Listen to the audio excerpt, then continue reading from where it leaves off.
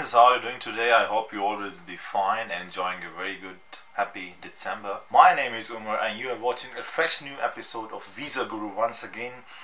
First portal, first ever portal on YouTube to provide you free consultancy without any charges through comments and emails.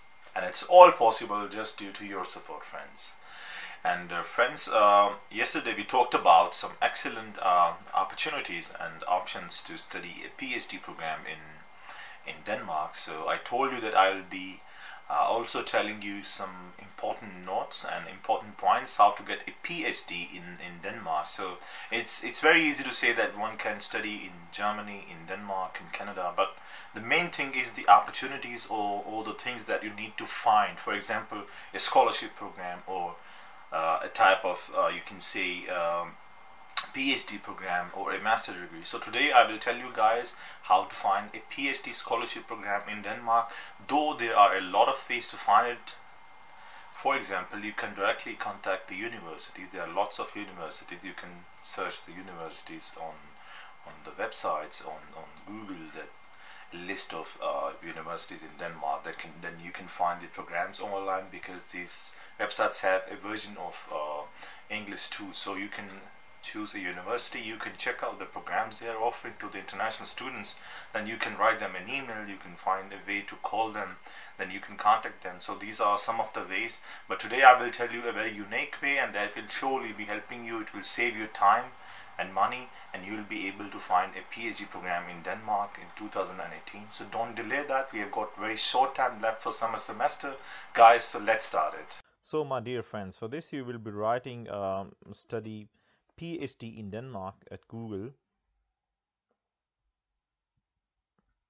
And then you will open uh, this this this first website so that you can find some options for PhD for you guys. So first of all, if you look around um, the the information, so from the left corner, from the left um, uh, menu, you can choose PhD and research and once you choose that you will come across a lot of information. So this is PhD and research. So here's written all the information that you need in order to apply for a PhD program in order to search. And the requirements are also over there so that you can easily read it and uh, decide if you can uh, uh, apply for a PhD in, in Denmark. So friends uh, uh, in Denmark the PhD has independent research under supervision. The courses of PhD students um, are of approximately 30 ECTS credits. And uh, then if you want to get more information about the admission requirements and the financing your scholarships here you can find one. So normally you must have uh, an equivalent degree from from your country of origin to to uh, a two years candidate uh, master degree in, in Denmark. So uh, in some areas a four-year PhD program is, is offered to students who have completed a bachelor degree as well as uh, one year of uh, study at postgraduate level. So if you talk about Denmark, it, eh, the things are a bit different. So if you have uh, an equivalent qualification to graduation uh, of Denmark, so then you can also apply a four years uh, of a PhD program because then you'll be having uh, two years of master and then further two years for PhD. So this is um, more beneficial for you, I think so, if you can just start um, applying for the both of the uh, levels uh, combined. And then uh, you must you must think that. It's it's not only in Denmark but in all over the world it the PhD uh, uh, position to to to get it all over the world in Germany in USA in Canada and Denmark is very competitive. So you need to be well prepared for that so financing and scholarship information is also over there so here's uh, all the information how you can finance uh, your scholarship, whether it will be um, paid uh, with a salary or with uh, an associated organization or it will be self-funded. So self-funded can cost you around 10,000 to 60,000 euros per per year. So that's a lot of money. So the best thing is that you need to find a scholarship for you. So that will be more uh, helpful for you guys. So if you want to find a list of available scholarships uh, um, and PhD positions in Denmark. So here is a link, list of available PhD positions. You can open this. Here you can find uh, the list of uh, universities who are offering different types of courses. uh, for PhD. For example, Aalborg University is offering in engineering and sciences, humanities and social sciences. So here are uh, available positions. Uh, next one is friends, uh, then Aarhus uh, University. This is a very famous one in, in Denmark. So here you have the faculties of humanities, health sciences, sciences, social sciences, theology, agricultural sciences, a lot of information here. Same uh, as the last one, you can open here the, the information about PhD positions. The next one is Copenhagen School, Copenhagen Business School. So here you can also find uh, information for you if you have got interest in business administration and modern languages. Um, to you can choose here different routes of uh, PhD. So here you go, PhD programs.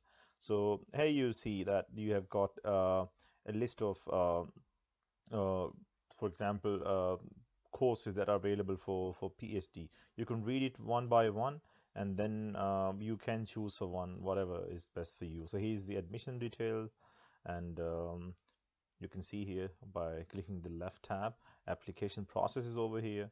Uh, you you may need to send them uh, for the doctoral uh, program. You may need to send them copies of your diplomas, transcripts, he's written all the information in your curriculum vitae, list of uh, written works, sample of written work, and brief project description, all, all the things.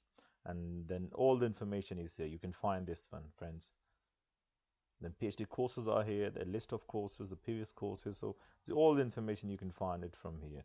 So furthermore, if we go back to the main website, friends, you will see here the IT University of Copenhagen, and then uh, Roskilde University, Technical University of Denmark, University of Copenhagen, University of Southern Denmark, and Royal Danish Academy of Fine Arts, School of Architecture.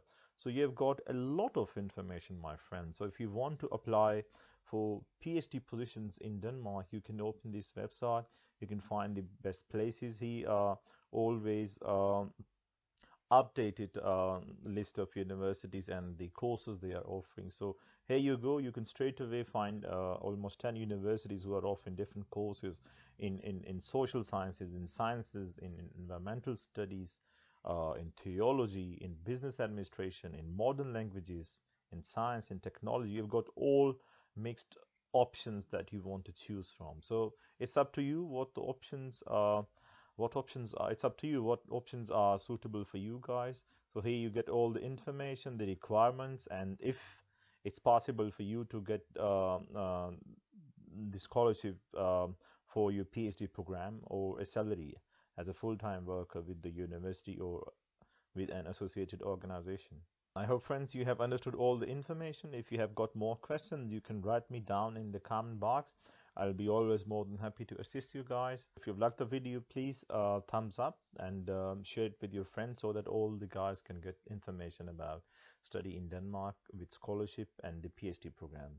So thanks a lot for your time, guys. Uh, we'll see us uh, in next video if you have subscribed the channel. Thanks a lot. Bye bye.